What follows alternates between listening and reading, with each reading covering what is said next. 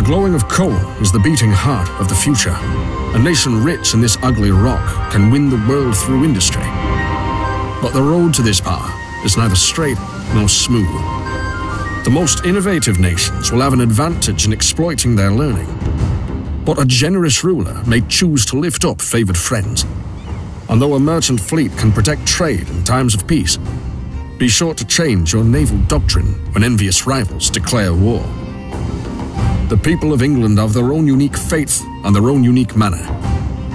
They feel destined to pursue their own unique mission and destiny. Guide this proud people or drive them into the sea. In Europa Universalis 4, Rule Britannia, available now.